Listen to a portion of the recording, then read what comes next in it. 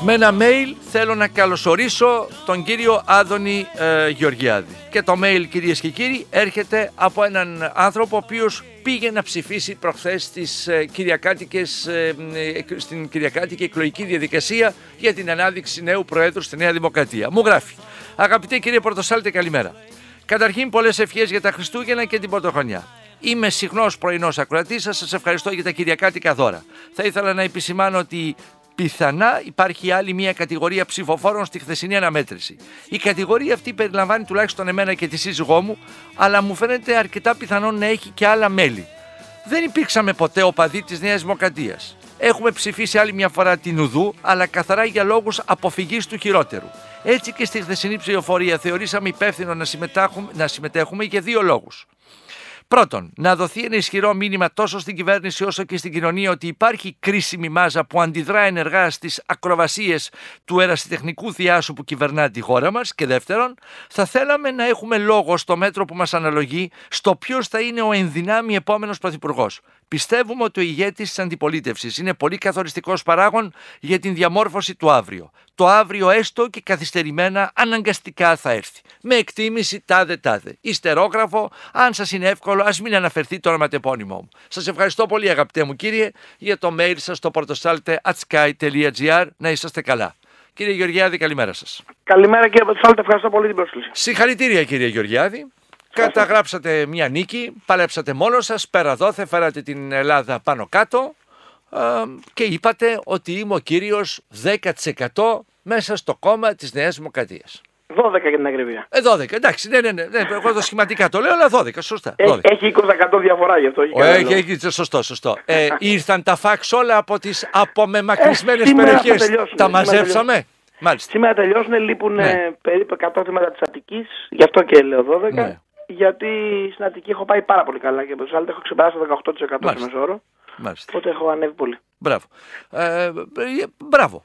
Πραγματικά μπράβο. Εχθές έκανα ένα tweet ε, στο οποίο σημείωνα το εξής και με, με συγχωρείτε, αλλά έτσι θέλω να σταθώ λίγο, γιατί το επισημαίνει και η καθημερινή μέρα στην πρώτη σελίδα και θέλω να το πω.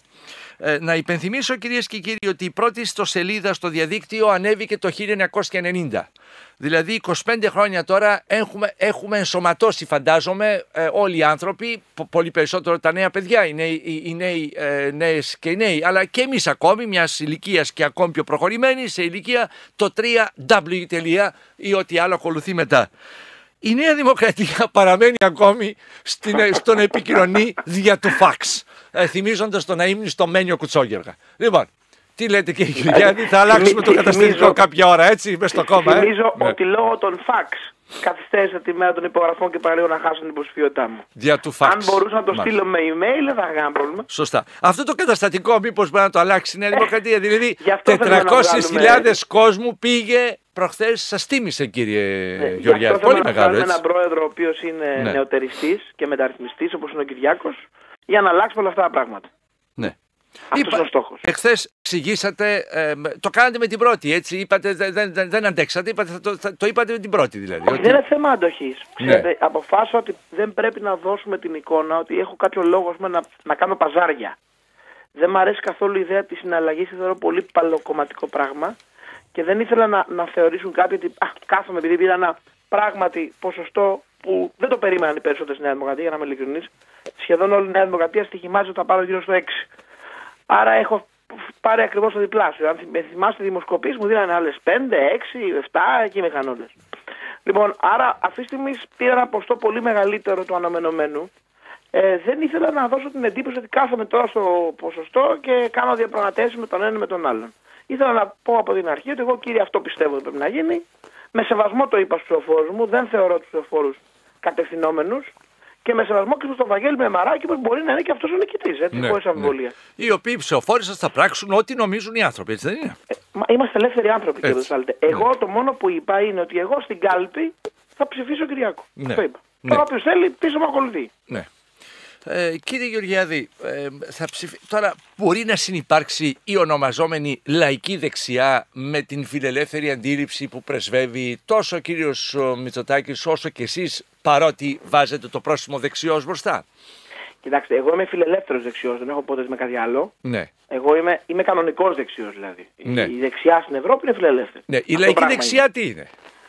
είναι; Η λαϊκή δεξιά είναι, είναι, είναι περίπου ένα, ένα πράγμα που φτιάχτηκε στην Ελλάδα την εποχή της, ε, ε, της κρίσης. Ναι. Όχι της κρίσης εννοώ αυτής, της κρίσης πολύ παλιότερα. Μάλιστα. Προηγούμενες δεκαετίες. Μάλιστα. Ε, δεν αρνούμε, προσέξτε, η δεξιά στην Ευρώπη έχει κοινωνικά χαρακτηριστικά. Μάλιστα. Παραδείγματο χάρη, οι χριστιανοδημοκράτες και οι χριστι- χριστιανοκοινωνιστές στη Γερμανίας έχουν έντονα, έντονα λαϊκά χαρακτηριστικά, αλλά και οι δύο Ναι. Ε, προτάσουν την ε, στάθεια τη οικονομία για να έχουν αυτά τα κοινωνικά χαρακτηριστικά. Ενώ Πολύ- στην Ελλάδα πήγε ανάποδα. Ναι, πολλοί της λαϊκής δεξιάς μου τηλεφωνούν και μου λένε κακός τη λες λαϊκή δεξιά και το λες, μου λένε με τρό- τρόπο ηρωνικό. Θα τη λες, πρέπει να. Το, το ορθόν είναι κοινωνική δεξιά. Σα λέω, οι χριστιανοκοινωνιστές στη Γερμανία Ναι. είναι ακριβώς αυτό που θα έλεγε κάποιο στην Ελλάδα λαϊκή δεξιά, αλλά με μια ειδοποιώ διαφορά. Εκεί ξοδεύουν τα δικά τους τα λεφτά. ναι. Πρώτα λένε θα βγάλουμε λεφτά και μετά θα ξοδεύουν. Ενώ εμείς εδώ θέλουμε να ξοδεύουμε τα λεφτά των άλλων. Εκεί είναι το πρόβλημα. Γι' αυτό χρεοκοπήσαμε και μπήκαμε στα μνημόνια και όλα τα υπόλοιπα. Εν πάση περιπτώσει, Ναι. αυτές τι συζητήσεις θα έχουμε χρόνο να τις κάνουμε. Η ουσία τώρα. Όχι, είναι... θέλω να σταθώ λίγο, μισό, με συγχωρείτε, με συγχωρείτε. Θέλω να σταθώ γιατί χθες ο κύριος Τηλιανίδης. Ε, ε, αυτά εγώ τα ιδεολογικά τα παρακολουθώ στην Νέα Δημοκρατία και μου αρέσουν να σας πω Κι την εγώ, κι αλήθεια. εγώ, κι εγώ. Μπράβο, ε, το Κι εγώ, ξέρω. προφανώς, Λοιπόν, κι εγώ. ο κύριος Τηλιανίδης χθες, ο κύριος Ευρυπίδης Τηλιανίδης, που θα, θα μπορούσαμε να πούμε ότι ήταν και το πουλέν του καραμανισμού μια εποχή, είπε ότι ο κύριος Μητσοτάκης είναι, είναι ο εκπρόσωπος του νέου φιλελευθερισμού. Κάτσε, εδώ υπάρχει ένα θέμα. Δηλαδή με το, δεν τον είδαμε ακόμη και το, το- αυτόν τον, τον δηλαδή του πήρε το, πήρε το κανονικό βάπτισμα. Πώς να το πούμε. Είναι εκπρόσωπος του Λοιπόν, ένα νέου λεπτό. φιλελευθερισμού. Ε, ένα λεπτό. Ναι. Ο κύριος Τηλιανίδη ε, μ, πρώτον υποστηρίζει τον κύριο Βαγγέλη Μεμαράκη. Άρα υπό την έννοια αυτή είναι λογικό να θέλει να βρίσκει και κουσούρια στον αντίπαλο. Ναι. Δεύτερον, ο κ. Τηλιανίδη δεν είναι και ιδιαίτερα μεταρρυθμιστής. Εκπροσωπεί ένα πολιτικό χώρο μέσα στη Νέα Δημοκρατία που στην ουσία αντιστάθηκε στις μεταρρυθμίσεις. Άρα είναι λογικό όσοι πρωτοπόρησαν στις μεταρρυθμίσεις, όπως ο Κυριάκος ή όπως εγώ, να του φαίνονται λίγο διαφορετικοί. Ε, ε, είναι, είναι, είναι λογικό αυτό, είναι ανθρώπινο. Ναι, ναι αλλά μην λέει ξεχνάτε ότι. ότι οι πιο μεταρρυθμιστές υπουργοί στην κυβέρνηση Σαμαρά ήταν, ήμουν εγώ, ήταν ο Κυριάκος, ήταν ο Χατζηδάκης, είμαι σε αυτή την πλευρά. Ο κ. Τηλιανίδη ήταν στην άλλη πλευρά. Ήταν σε μια πλευρά που δεν το τρέχει αυτό το πράγμα πολύ. Ναι. ναι, αλλά μισό λεπτό. Λέει ο κύριος Τηλιανίδη ότι, αυτό το, κο- ότι ο κύριος Μητσοτάκης εκπροσωπεί τον νεοφιλελευθερισμό που είναι μια συνιστόσα και τίποτα άλλο μέσα στη Νέα Δημοκρατία. Αυτό. Μα δεν είναι νεοφιλελεύθερο. Βέβαια, δεν- το ξέρουμε ότι δεν είναι, αλλά είδες τώρα πώς λοιπόν Στην διαμορφώνεται. Ελλάδα Ναι. μπερδεύουμε το φιλελευθερισμό με τον νέο φιλελευθερισμό. Ναι. Ο νέο φιλελευθερισμό, ας το πούμε η σχολή του Σικάγο για να ναι. δώσουμε ένα στίγμα, είναι μια ακραία εκδοχή του φιλελευθερισμού. Θεωρεί δηλαδή ότι πρέπει το κράτος να είναι σχεδόν ελάχιστο. Ο φιλελευθερισμός δεν λέει το κράτος να εξαφανιστεί. Δεν λέει, δέχεται ότι ορισμένες πλευρές του, του, της οικονομίας πρέπει να ελέγχονται από το κράτος, των υπηρεσιών, το πιο σωστά, ας πούμε, η υγεία, η παιδεία, μπορεί, μπορεί να τις παρέχει το κράτος. Αλλά δέχονται ότι οι βασικές μας αρχές πρέπει να είναι η οικονομία της αγοράς.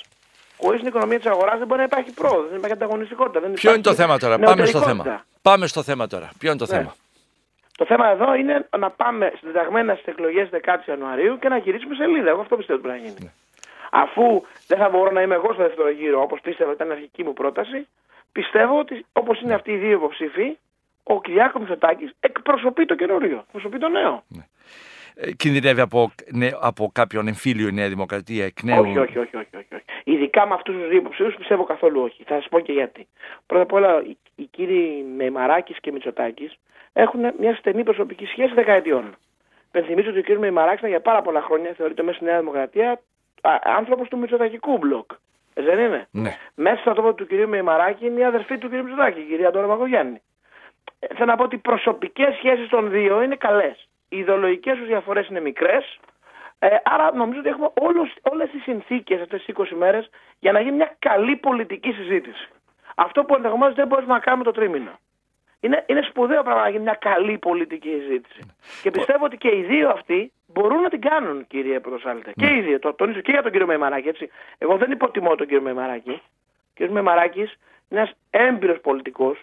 Ο λόγος που προτιμώ τον Κυριάκο είναι γιατί είχα μαζί του στενότερη συνεργασία. Γιατί Ένα πιστεύω ότι ευφύ προσωπεί το άνθρωπος, καινούριο. κύριε Γεωργιάδη, δεν υποτιμά ποτέ κάποιον α, απέναντί του. Α, Ναι. Είναι, το, είναι το βασικό. Οπότε μην, μην δικαιολογήσετε πάνω σε αυτό. Δηλαδή, ε, τι θα πει υποτιμώ. Φυσικά δεν υποτιμάς κανέναν. Αλλήμωνο. Ε, θέλω όμως να, ρωτήσω, θέλω όμως να σας να ρωτήσω το εξής. Ένα 60%, δηλαδή το 60%, όχι ένα, το 60% των ε, ψηφοφόρων που προσήλθαν προχθές στην κάλπη με έναν ή με τον άλλον τρόπο είπαν ότι θέλουν ανανέωση. Συμφωνούμε. Ναι. Μα γι' αυτό και πιστεύω ότι έχει έρθει η ώρα της αλλαγής. Πιστεύω ότι ο κ. Μεϊμαράκης, όχι γιατί ε, έχει κάνει κάτι κακό ο ίδιος, αλλά γιατί εκπροσωπεί μια προηγούμενη πολιτική γενιά ε, δεν μπορεί να συμβολήσει την, αναγέννηση, την ανανέωση. Δεν μπορεί να συμβολήσει αυτό που θέλουμε την αλλαγή της σελίδας. Ο κ. Κυριάκος Μητσοτάκης, επειδή είναι μιας άλλης πολιτικής γενιάς και μιας άλλης πολιτικής νοοτροπίας, είναι πιο μέσα στα social media, είναι πιο γρήγορος, πιο μεταρρυθμιστής. Υπ' αυτή την το λέω έτσι. Μπορεί να εκπροσωπήσει αυτό που λέμε την, την αλλαγή της σελίδας.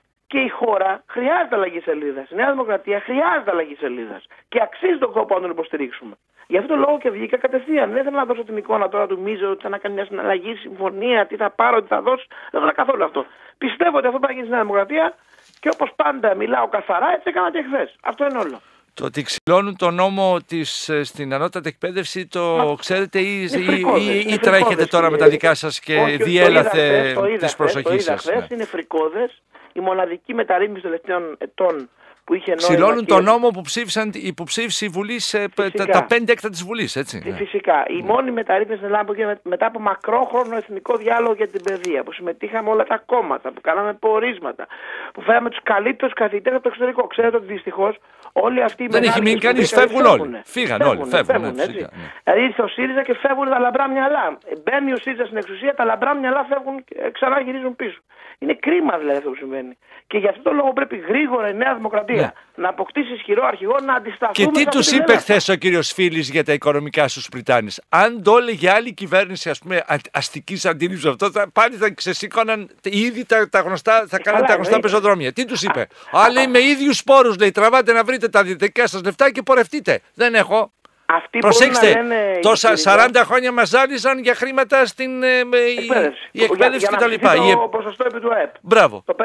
Πού είναι τώρα, γιατί δεν το κάνουν. Πάει το 5%. Τώρα έχουμε ΣΥΡΙΖΑ. Τώρα τα δικά τους λεφτά. Αυτό είναι το πρόβλημα του ΣΥΡΙΖΑ. Είναι υποκριτές, κύριε Πρωτοσάλτε. Είναι υποκριτές αυτοί. Ναι, αλλά ο Αυστριακός όμως, ακούσατε τι είπε. Ότι έχουμε είναι έναν... πιο καλή εφαρμοστά στο μνημονίο. Α, μπράβο. Λοιπόν, τι να σας κάνουν εσάς; Εδώ δεν ανοίγει η τσιμουδιά. Δεν ανοίγει που λέμε που πετά, δεν πετάει πουλί δεν και όλα εφαρμόζονται. Δεν κρύβω. Δεν κρύβω. Έχω την εντύπωση ότι αυτοί οι πολιτικοί της Ευρώπης έχουν αρχίσει κάπως και το ευχαριστιούνται που έχουν εξευτελίσει τον Τζιμπρά. Γιατί δεν εξηγείται τώρα να βγει να κάνει τη δηλώση Αυστριακός. Ο Αυστριακός κάνει αυτές τις δηλώσεις, αυτό που λέμε στο διαδίκτυο. Όπως αντιλαμβάνεστε, το αφήνουν να συμβεί και στην Πορτογαλία και πιθανώς και στην Ισπανία. Εγώ αυτό καταλαβαίνω, κύριε Γεωργιάδη. Και τι να κάνουν; Δεν υπάρχει τίποτα. Δεν μπορώ να σου πω ότι έχουν να κάνουν κάτι, αλλά θα το αφήσουν να συμβεί. Δηλαδή, άμα θέλει ο άλλος να το γευτεί, θα το γευτεί. Θα Μα το δεν αρέσει. υπάρχει. Ακούσατε, δεν μπορεί να σταματήσει τη θέληση ενός λαού να καταστραφεί. Εννοείται, σωστό, σωστό. Καλημέρα σας. Καλημέρα. Λοιπόν, Καλημέρα. Ε, καλά Χριστούγεννα να τα πούμε. να χαίρεστε την οικογένειά σας. Και θέλω, και θέλω να ευχαριστήσω από το μικρόφωνο σας όλους αυτούς τους χιλιάδες ανθρώπους που έδειξαν για μένα. Ξέρετε, ε, στη δική μου ψυχολογία υπάρχει κάτι ρομαντικό. Επειδή όλοι ξέραν από την αρχή, βλέπαν τις δημοσκοπήσεις, ότι είμαι χαμηλά, θα μετέφρασαν κλπ. Δεν προσήλκησα ανθρώπους που ήρθαν από συμφέρον. Ο, ή ουδήποτε είδους συμφέρον, ξέρω εγώ, κομματικό συμφέρον, καρέκλας, αντιδόρου, ξέρω εγώ, σε θέση. Αυτοί οι οποίοι ήρθαν σε μένα, ήρθαν για τη μάχη των ιδεών. Και ήταν, κύριε Πρωτοσάλτε, πολλές χιλιάδες, πάνω από 2.500 εθελοντές, για να καταλάβει το 12% στην κάλπη ένα ποσοστό περίπου 50.000 ανθρώπων. Και άρα καταλαβαίνω ότι είχα 1.200 εκλογικούς αντιπροσώπους εκείνη την ημέρα που κάθαν και μετράγανε μέχρι τις 2-3 τα ξημερώματα. Πώς να σας πω, όλος αυτός ο πολιτικός αγώνας είχε, είχε ένα τεράστιο στοιχείο ρομαντισμού. Και ξέρετε, είμαι περήφανος γιατί; Γιατί σε μια εποχή που ο κόσμος λένε δεν ασχολείται με την πολιτική και δεν πιστεύει πια τους πολιτικούς, βρέθηκαν τόσε χιλιάδες άνθρωποι ανιδιοτελώς. Ο Θεόδωρος Καράς. Ο Θεόδωρος Καράς και τον κράτησα για το τέλος για να κλείσουμε. Με mail του στο πορτοστάτα.sky.gr μου λέει: Παρακαλώ, πείτε του ότι τον στηρίζω τώρα ακόμη περισσότερο και ότι υπενθυμίζω ότι η ιδεολογική ηγεμονία της αριστεράς είναι αποτέλεσμα προσπάθειας πολλών και για πολλά χρόνια. Το ίδιο φυσικά απαιτεί και η τυθάσευσή της. Ε, εννοείται. Ε, κερδίσα, ακούστε. Δώσαμε την πρώτη μάχη. Λοιπόν, καλημέρα. Ναι, καλημέρα, ευχαριστώ. Και, και, ναι, τίποτα για τον Λαζόπλο, δεν πείτε. Μια καλή κουβέντα. Αφήστε τον Λαζόπουλο, διότι όλοι αυτοί σας λέω με περιμέναν στο 6 και τώρα στο 12 έχουν σφιχτεί. Καλημέρα, ευχαριστώ πάρα πολύ. Γενικότερα το αποτέλεσμα της Νέας Δημοκρατίας και η προσέλευση των 400.000 ε, ψηφοφόρων έχω, έχω καταλάβει από χθες ότι έχει σφίξει πολλούς. Για να μην πω και την άλλη χιδέα έκφραση που είναι δίσοσμη. Γεια σας, κύριε Γεωργιάδη, γεια σας. Λοιπόν,